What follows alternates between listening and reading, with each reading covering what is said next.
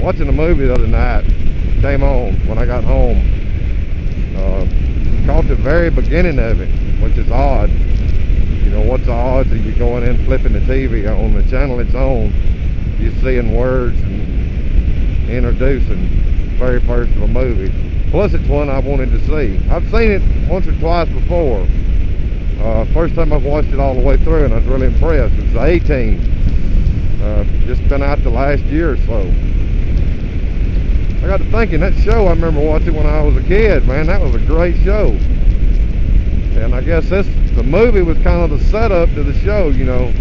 Remember, uh, put in prison for a crime they didn't commit, promptly broke out, and they've been chasing them ever since.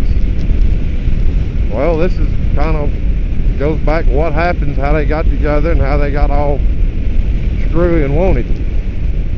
I watched this movie and I'm thinking, man, is a pretty good movie. It's, you know, they, they've done it justice. Most of them don't. Well, uh, the very next evening, I think this might have been last night, um, I caught the old show on TV Land, the old rerun channel, I guess you'd call it. And uh, that awesome show, man, it, it, wasn't really that great. They shot up a lot of stuff, wasted a shit ton of ammo. I mean, you know, if you notice, I mean, they always go through 55 gallon barrels of ammunition a piece. And then the people are shooting at give up all at once and they win. You ever notice nobody ever actually got shot in the A-Team? I don't think nobody ever got winged in the A-Team. Now the new movie on the other hand, they fucked some people up in that one.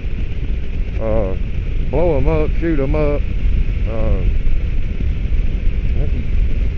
I'm assuming he killed a couple of their dogs that was going to eat him. It's kind of in the dark, so you can't really tell. And PETA would have probably shit their pants.